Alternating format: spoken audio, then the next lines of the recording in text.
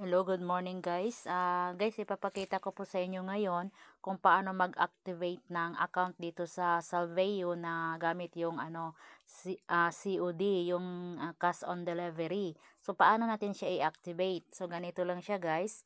So, first thing natin gagawin is mag-login tayo, no? So, mag-login tayo, okay? Hanapin ko muna yon So, mag-login tayo dito guys. So, login ako, no? So, so, ay, sorry, kung mag-login ka, ito pala, i-click mo tong login, okay? Mag-login ka dyan. Alright. Um, login ka, okay?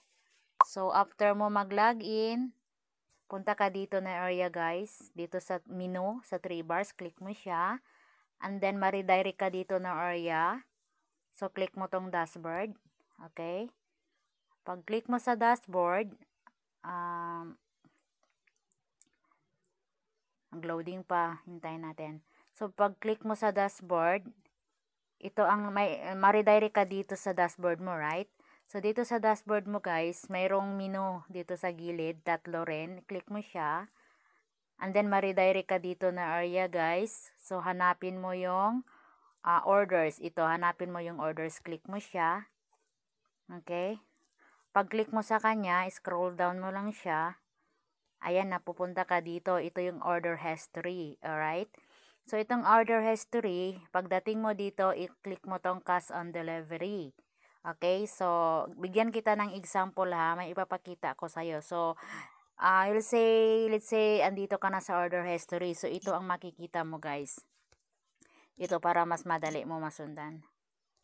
Ah, uh, saglit uh, may ipagpakita lang ako. Ito. So ito. Kung mapupunta ka na dito na area guys ito ang number one. Ito ang i-click mo okay? Cash on delivery.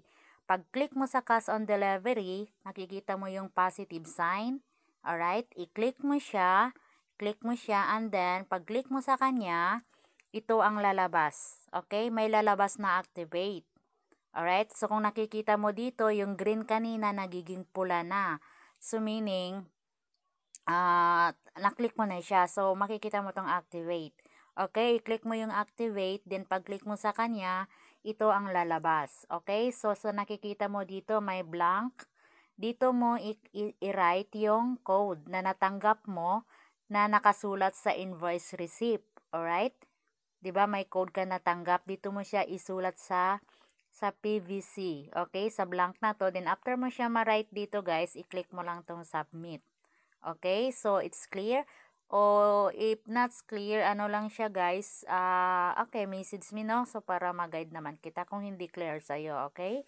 Ganun lang po ka-simple, guys. Thank you. Again, this is Sola Canaria, guys. So, more uh, more ano tutorial to come pa na i-upload natin no para sa ano easy na lang sa incoming members natin. Okay, thank you for watching guys. Okay, learn, learn lang. Bye-bye.